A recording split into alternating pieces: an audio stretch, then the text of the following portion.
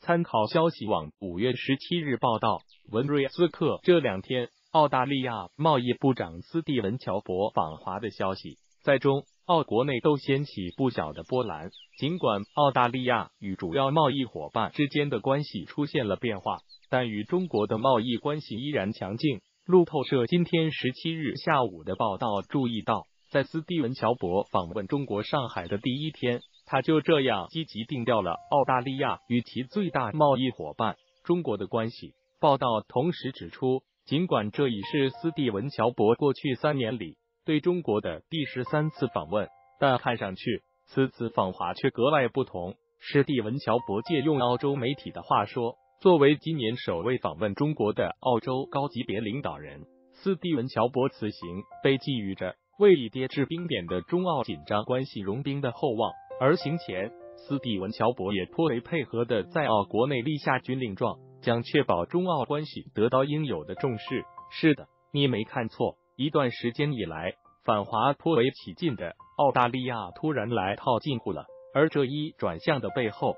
除了澳国内商贸对改善对华关系的期待，背后更离不开亲密盟友美国的助攻。图为乔博在二零一六年的 AWIC 上发言，图片。源自澳大利亚中国商会贸易部长破冰来华，澳国内有人期待，有人忐忑，岌岌可危的形势促使贸易部长乔博前往上海，以打破中澳外交的干旱。他身上背负着一千五百五十亿美元的风险。据悉尼先驱晨报网站十六日报道，澳大利亚出口商担心中澳外交冻结令他们失去大量机会。而澳政界也已经看到中澳关系衰退所造成的经济损失。同天另一篇报道中，悉尼先驱晨报网站透露，当乔博颇为丰富的访华行程披露后，在华的澳大利亚商界倍感兴奋。悉尼先驱晨报网站报道截图，乔博本人更是踌躇满志。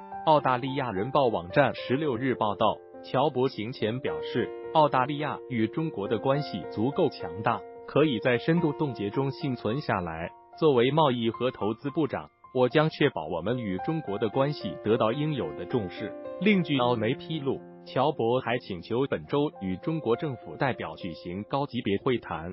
但面对中澳关系近段时间以来的低迷态势，也有澳媒对乔博此次访华成果持保留意见。澳大利亚广播公司称，虽然澳大利亚企业界对于乔博的上海之行表示欢迎。但他们普遍认为，乔博的访问并不能达到破冰的程度，因为两国的外交热度还远远不够。二零一七年十一月，在澳大利亚城市墨尔本，乔博又出席中澳建交四十五周年纪念活动并讲话。新华社事实上，对于乔博访华，无论是商界期待还是澳国内的忐忑，指向的都是特恩布尔政府一段时间以来对华不友好举措。及其对中澳关系造成的负面影响。要知道，就在本月初，澳大利亚总理特恩布尔还拉着访澳的法国总统马特龙发布联合讲话，要求中国不要破坏南太平洋地区的稳定，霸占这个区域。美国商业内幕杂志网站报道截图。与此同时，澳媒也不忘配合美国演出炒作中国的所谓债务陷阱。澳大利亚金融评论报十三日报道称。该报独家获得的一份美国国务院的秘密报告警告说，中国正在澳大利亚门前制造债务陷阱，通过使澳大利亚一些邻国背上债务，从而获得战略和军事实力的经济杠杆。一方面是对华经贸告急，另一方面仍是澳政府的刺激性言论。特恩布尔不断的自相矛盾的对华政策正持续引来批评。十五日，澳前驻华大使瑞杰瑞。在澳大利亚金融评论报撰文，指责澳外长毕晓普两年多没有访华，并且造成澳对华政策在行动上的迷失。瑞杰瑞他批评毕晓普用尖刻的南海言论激怒北京，并呼吁特恩布尔解雇毕晓普。在当天的一份声明中，毕晓普反驳了瑞杰瑞，宣称澳中深度外交接触仍在继续，两国全面战略伙伴关系的根本利益没有改变。而今天十七日下午，路透中文网的一篇报道也传递了更为复杂的信息。就在乔博抵达上海的同一天，澳洲富益葡萄酒运往中国面临通关延迟，乔博不得不临时动员一个外交团队来解决此事。报道还披露，因为受到中澳关系紧张的影响，这一全球最大葡萄酒厂商的股价今天出现下挫。路透中文网报道截图，路透社援引澳大利亚拉筹伯大学国际关系专家尼克比斯利的话指出。从葡萄酒到旅游业再到农产品，澳政府的反华倾向给多领域带来的负面影响正在逐渐显现，这也向澳政府发出警告。被美国坑惨，澳大利亚最近对美很不爽。事实上，澳大利亚寻求缓和对华关系，除了其国内对对华贸易需求的深层驱动，时不时捅小弟一刀的美国也成为助攻。近年来，澳大利亚在南海安全、贸易等问题上。紧跟美国步伐，令中澳关系陷入低谷。然而，澳大利亚不仅没从美国那里拿到什么好处，反而屡屡被坑。比如，据悉尼先驱晨报的报道，美国驻华大使特里布兰斯塔德十五日表示，特朗普希望美国向中国出口食品大幅增长，并增加液化天然气出口。特里布兰斯塔德要知道，食品和液化天然气。是澳大利亚对中国的关键出口商品，而且澳大利亚的许多农产品享受优惠的低关税待遇，因此美国食品出口商可能成为澳大利亚的竞争对手，成为不少澳媒关心的问题。而美国商务部长罗斯在十四日发表的一番讲话，令澳大利亚更加不爽。据美国商务部网站消息，罗斯当天说，中国可以很轻松的。缩减美国对中国的贸易逆差，只要中国在每年一点五万亿美元的进口产品中多选购我们美国的产品，少买中国其他那些自由贸易伙伴的产品就可以了。美国商务部网站报道截图，罗斯口中的中国其他那些自由贸易伙伴，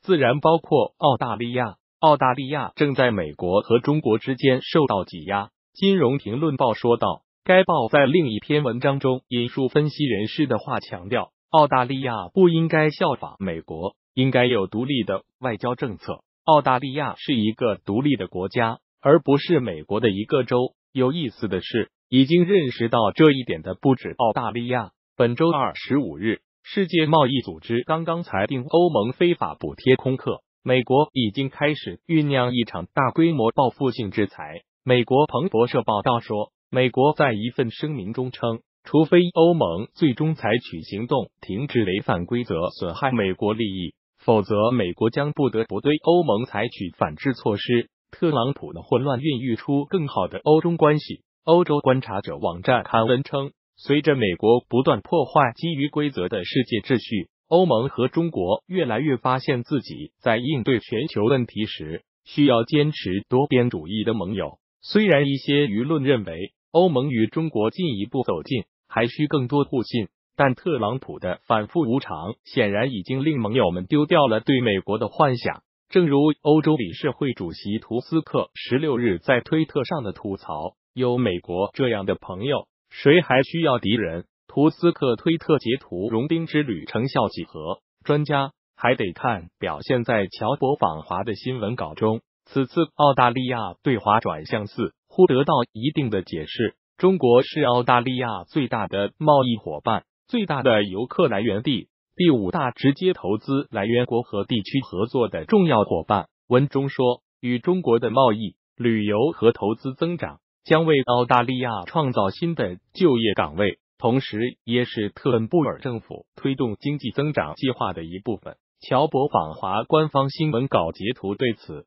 中国国际问题研究院国际战略研究所副所长苏晓辉告诉小瑞，一直以来，澳大利亚对华加强经贸合作的需求始终没有减弱。苏晓辉说，一方面，澳在政治、安全与意识形态方面紧跟美国，经常发出杂音干扰中澳关系发展，这已经成为一种常态。但另一方面，澳对华经贸合作的需求和热情也是长期存在的趋势。他表示。澳贸易和投资部长访华，还有现实考虑。美国频频退群，对澳大利亚刺激很大。澳认为多边主义和自由贸易受到了挑战。当看到中国提出促进开放的举措时，他当然也不想错过这个机会。美国等大国的经贸政策正变得越来越有侵略性，所以澳大利亚想抓住一切能抓住的机遇。苏小辉说：“特朗普和特恩布尔，但是澳大利亚高官的融冰之旅，